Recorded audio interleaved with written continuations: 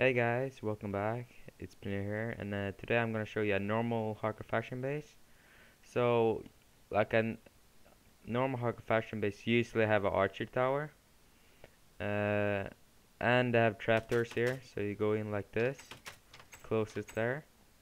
It's because people you can stand here and people can't pearl you before they can pearl in and stuff. then let's go up to the archer tower.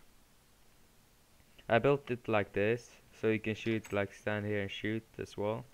And I built so oh, oh shit, I built like that.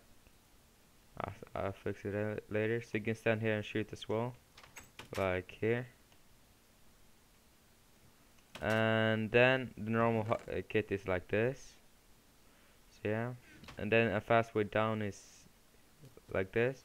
Then it continues down like with a farm enchanting room, mob grinder and stuff. This is just where you go in and stuff.